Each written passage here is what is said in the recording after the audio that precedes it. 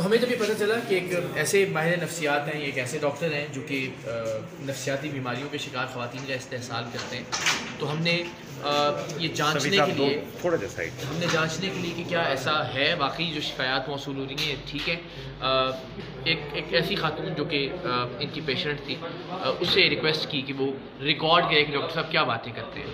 और जब खुफिया कैमरे पर हमने देखा तो डॉक्टर साहब ने वही किया जिसका खर्चा था उन्होंने पहले तो कहा कि जनाब आपको एक अच्छी कंपनी की ज़रूरत है फिर आपको एक अच्छे साथ की ज़रूरत है और वो मैं साथ देने के लिए तैयार हूँ। फिर उन्होंने कुछ अजीब व गरीब मुबालगा आरई पे मुश्तमिल कुछ बातें की। उन्होंने कहा कि जनाब आपको और मुझे साथ रहने के लिए या फ़िज़िकल होने के लिए निकाह करने की ज़रूरत नहीं है। उनको एक अपनी थ्योरी थी कि जी बस आपने कह दिया, मैं कबूल हूँ, मैं कह दूँ आप कबूल है और बस ठीक है, सिलसिला आगे चल सकता है इस तरह से। तो एक अपनी तशरी भी करने की कोशिश की उन्होंने और कहा निकाह की या मौलवी की या निकाह के खुतबे की या गवाहान की उसकी कोई ज़रूरत नहीं है। तो सारी रिकॉर्डिंग हमारे पास मौजूद है। फिर उन्होंने इस बात का झांसा भी दिया कि आपको एक अच्छी नौकरी की ज़रूरत है और मैं आपके लिए एक नौकरी जो है उसको क्रिएट कर दूँगा और आप मेरी असिस्टेंट होंगी, आप मेरी मावन होंगी।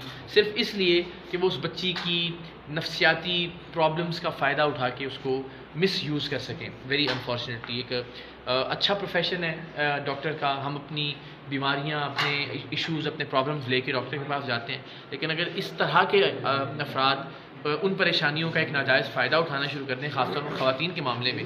तो फिर ज़ाहिर बड़ी अफसरदा होने की बात है।